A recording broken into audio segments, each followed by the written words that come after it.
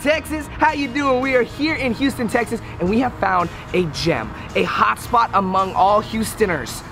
Is that even a word? I don't know. Anyways, we are here in front of Killen's Barbecue. It's one of the best barbecues in all of Houston, Texas, according to Yelp and also TV programs. Smell this? It ah. smells so good. Superstar chef Ronnie Killen is here to tell us about his award-winning meat. Yes, that's right. It's been on the news for being so good. Usually they have a line going out the door, so you know I had to come here and try it. Welcome back to a brand new episode of My Fortunate Life Choices, starring yours truly, Brennen Taylor. We also got Jake behind the camera. Say hi.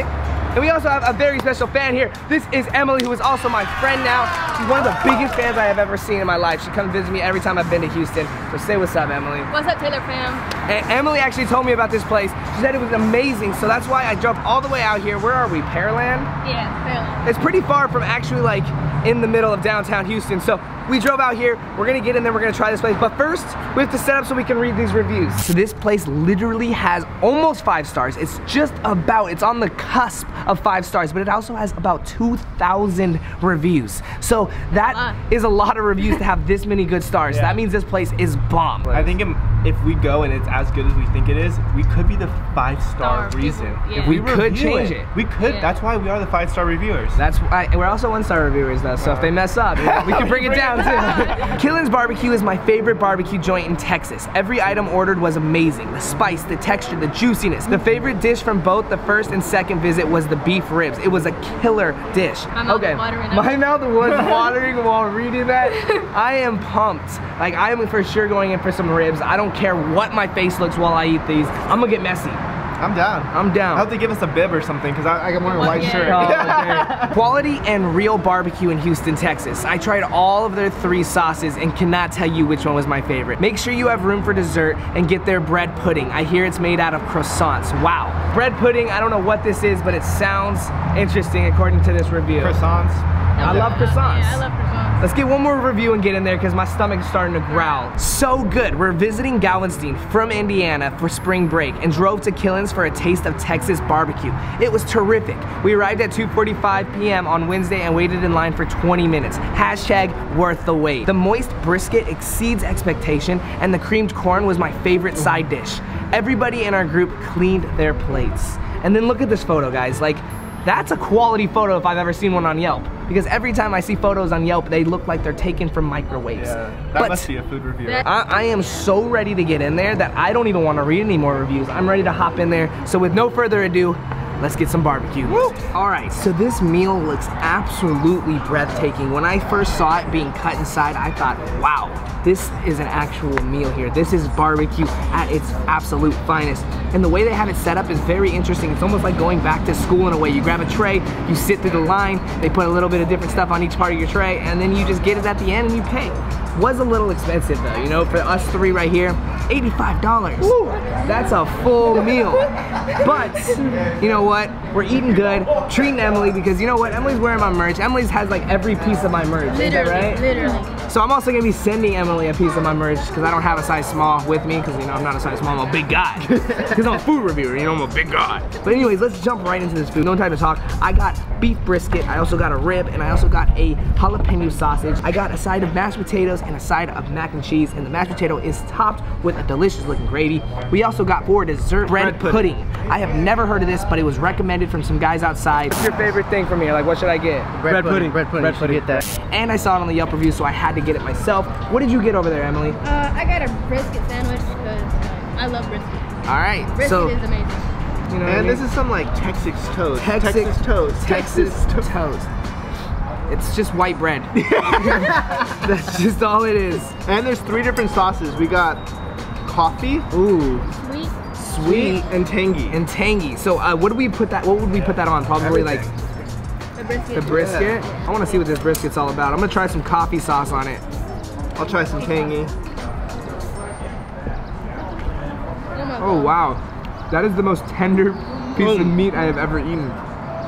It almost falls apart in your mouth as soon as it touches. It doesn't like taste like meat. It's just like It's the softest well, like thing the I've texture isn't meat. You know what? Actually, the texture is like eating chewed food. Like it's almost like it's already pre-chewed because it's so soft. And like, look at it. The texture of this is literally like chewed food. If you look at it, but not in a bad way. I know it maybe looks kind of a little gross to you guys, but it tastes amazing. I'm gonna try. I'm gonna try to find which one is the best sauce. Yeah, I'm going for a I'm going for some tangy. Mm. Ooh, tangy is good. Tangy's got a nice little punch to the face. I know you usually don't just jump into sides, but look at this mac and cheese. That's ridiculous. It's That's exact- I was gonna get it, but I was like, I'm not sure. I ain't never seen mac and cheese like this, so I'm gonna I'm gonna eat it. Oh my god! Inside, on top, it's been hardened. On the inside, it's still soft and juicy as ever. Look at that! Like the juice could just pour out if I were to open this. Look at that! It's oh dripping. my god. I like tangy. Whoa, that is some creamy mac and cheese. It's almost like I say, give me some mac and throw some extra cream in that because whoa, it's James hardened on the top, but on the inside, it's Steph Curry creamy, baby. Oh my god. oh my god. I, That's should- I might have to go back and get some more. We give this mashed potato because it looks mashed- so yeah. fluffy. It looks perfect. This is a perfected mac and cheese. I mean, perfected mashed potato. Wow. Mm. Wow. Talk about it. The mashed potatoes itself, compared to what we had at the one star place, is so good. Well, There's like nothing extra added to it. It's creamy, it's fluffy, And and then the and soft. Like literally, it's like a pillow. You can sleep on it. Oh. And the gravy, it's like a white Cream- gravy, cream like a cream cream gravy. It's so good. It's like what you have with biscuits and Oh, gravy. maybe know? you put that on this bread. Oh, I'm go gonna for try it, that. legend. I don't know if the bread really adds anything to it. The mashed potatoes itself are a creamy sensation. You're right. When we had the ones at one star, they tasted buttery. They tasted super salty. They just tasted wrong. This tastes right in every single way that it could. Yeah. This plate is very oily, but I think this is how it has to be. This is barbecue food, you know? Yeah. Is that fall at the bone? Yeah, literally. Remember, I talked about in the one star video, I talked about how ribs are supposed to just fall off the bone. Like, the meat is just falling off of this. I could easily. Oh my god. it's so good. Your I- mouth's wa- drooling. I've- You're drooling. Everything, like, I could just literally, look at this. The whole meat just comes off. Oh my god. That's how you know a rib is cooked right. You're not supposed to have this huge, difficult time getting the meat off the bone, because then it's just overkill. The sausage, in my opinion, was alright. It was a little tough, to be completely honest, but it had a good flavor profile. So I think the best thing that I've tasted so far, I haven't even tasted the sausage yet, so I'm gonna get into that, but I think the best thing that I've so far had was the rib. Let me give this a proper taste test. I don't know if you're really supposed to put any sauces on this or if you're just supposed to feel it for the way it is, but I feel like the sauces are out here for a reason. So I'm gonna put a little tangy sauce on this jalapeno, get a little tang with my jala, you know what I mean? Here we go. Mmm. Mmm. Wow. I was literally just about to sit here and say the rib was the best thing. It's tough because that's what a sausage is, you know? Soft on the inside, hard on the outside, cooked perfect. It's got the right amount of like little spice to it. Like where it's not too hot, but it's like the perfect amount. How was your sandwich? I mean, it's falling apart, but it's amazing. Because the, the meat is just so tender. Damn, you don't even got any meat left in there, I huh? gotta keep, I gotta keep putting it back in. like, man. the way that this this restaurant works is like it's crazy because it's a sit down restaurant, but at the same time it's almost like a fast food. Because you see how fast everything happens. You get in line, put the food on the plate, you go outside, you eat, you leave. It's real quick, but at the same time still has a restaurant feel because you don't have to take your stuff to the trash. You just leave it and they'll come pick it up. look how it just breaks apart. I'm saying that's that's a right made rib. Like literally just pulls into pieces. So good. Taste it now. Oh my god. the outside has that like off the grill barbecue flavor, and the inside just melts in your mouth. So good. Going for that rib. See what she thinks about Alright. it. And with tangy. With tangy. Go for it. with tangy.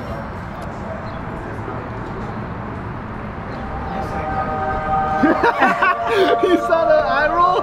Wow! Whoa. Well, the tangy made it a little spicy. That's what I was going for, spiciness. Uh. the rib was just juicy, and it, it had like a little bit of like hardness, but it was just juicy. Yeah, like these ribs, man, I'm telling you, it's like, it's crazy. Like, this is an actual proper rib. Like I said, I wanna- I wanna man, this place is next level. I know why it was on the news now. I know why it has almost five stars. I don't, I wonder why. I'm gonna look at the reviews and see why it lowest rated. Let's see what they said. 19 days ago, first and last time here, dry beef ribs. Can't say the same. Uh, yeah, not Maybe you got an old batch. Old dry baked potato. I mean, we have mashed potatoes and they're not dry at all. all. The, the mashed potatoes don't even mash. They're clumps of butter. Definitely, Definitely not at Ours all. were perfect. Do not uh, keep enough inventory with a few hours left until closing. What a waste of time. Drove 45 minutes because the ratings never again. Okay, so you went 45 minutes before closing and you expected the absolute perfected fresh cooked meal. Like they were done cooking by then. They were probably just Yeah. serving you the leftovers.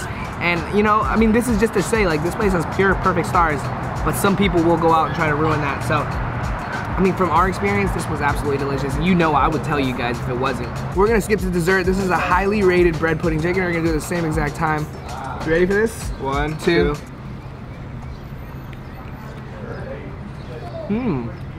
It's interesting. I don't know if I love it, but I, It's like- I, I thought I was going to I thought it, it. it's kind of tastes like milk. I don't like the texture. It's kind of soggy bread, but you know, It's like it's a croissant. Yeah. it's a soggy croissant with milk and like cream. cream or honey or something on top. It's very homey. It's, it's definitely like they made it here. is what I think like southern home food. Like imagine like working all day, construction. You get home and your wife's like, here's some Mm. here's some nice creamy bread. It's almost like a flan in a way. Served in Texas called capirotada. I don't know, man. You guys let me know. Have you guys had it? Try to describe the taste of it in the comments below so that other people can really understand. We did see some reviews about the restroom, so I Oh, think it's it's only time. that Jake takes over the vlog. for My time to shine. Let's do it. Go do it.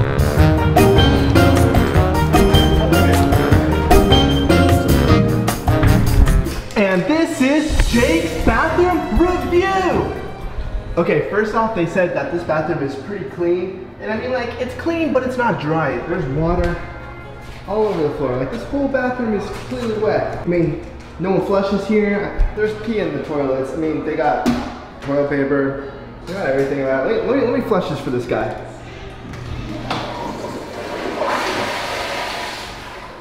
Toilet pressure is pretty good. I don't think it will hold up to the, all the barbecue food that I ate, but maybe I'll give it a try later, you know what I mean? There is a wet floor sign, so I guess so I guess they have acknowledged that the floor is wet. There is two urinals, one for the small and one for the big. I mean, that's pretty much it. This does have really good window lighting, so I mean, might as well take a selfie. And that was Jake's bathroom review, so let's get out of here. That was the brisket. This is the This brisket? is for tomorrow. Tomorrow's brisket. Yeah. How long does it take to cook it? 14, 15, or 16 hours So you start cooking it today for tomorrow? for tomorrow. Yeah. Oh wow. And it's already so tender. It was so juicy and so tender when I ate it. How many people do you, do you serve with that? For work, Yeah. uh, I don't know, maybe 15 or people. Or And how many do you guys cook a day? For today, for tomorrow, Yeah. we have one uh, the party Uh-huh. for 450 Mm. people. I need uh, 60 brisket. 60 of This, this lady, How long have you been working here? me, uh, four years. Four years. You love it here? Yeah. Awesome. Right. Great, thank you so much. Do you know how long it takes to cook one brisket? Did you hear? Yeah, he said 15, 16 hours. So they cook for tomorrow. yes, they're starting right now. What time is it? Uh, 130. It's 1.30 and they're out here barbecuing these briskets. He's cutting more for tomorrow. They're continuing barbecuing, so that means they, if they run out, they run out. No wonder why that person's reviews, they don't keep enough supplies. It takes 16 hours to make Yeah. a brisket. Like, if you run, there's no just cooking another one in half an hour, you know what I mean? That's insane. It's like non-stop cooking. Never. Yeah. What is this? Uh, pork ribs. Oh wow. And how long have they been in here for? Three, four hours. Three, four hours. Uh, that Oh, one is a turkey. that's turkey. So Yeah. how long you been cooking the turkey for? Uh, three hours. Three Two, two thirty or three hours. And is there someone that sits here overnight and like checks on it, or because you guys cook it overnight, right? Yeah, that one is for one day. Yeah. Yeah. I can definitely tell that Killen's Barbecue puts a lot of effort and a lot of love into their food, and it's absolutely delicious. I had a five-star experience. Yeah, I too. think everything about it was absolutely delicious. And that wraps up this video. I hope you guys enjoyed it. If they did, what should they do? Um, like and subscribe, and also join the Taylor fam by doing that. You already know what's going on. Make sure you go check out Emily's channel. Emily is an aspiring YouTuber as well. So go help her out. Go tell her that I sent you guys. And until next time, I love you guys so much, and I will see you guys next time I post. Peace out. Make sure you guys check out yesterday's video and also make sure you hit that subscribe button right now and turn on post notifications so you never miss a post. Follow me on my other social medias and I'll see you guys tomorrow. Peace out.